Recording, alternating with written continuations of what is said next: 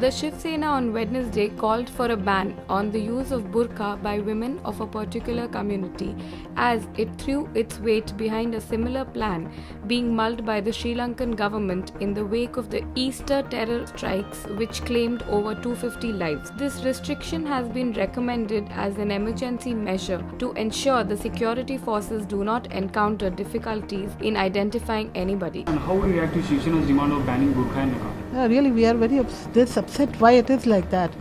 Burqa is, you know, compulsory in our Islam, and we all are wearing this. And we are even I am the trustee of the Safa school, English school. We all wear, and I, I think burqa that we get all respect because of this hijab.